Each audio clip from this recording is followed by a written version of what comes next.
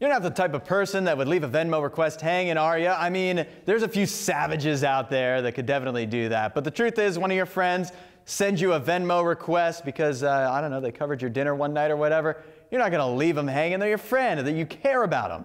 Radio U's the same way. We're doing our fundraiser right now. There's only a few days left, and uh, there's that Venmo request staring at you. We need your help. Chip in a few bucks. You can even donate with Venmo. Go to radiou.com and help out.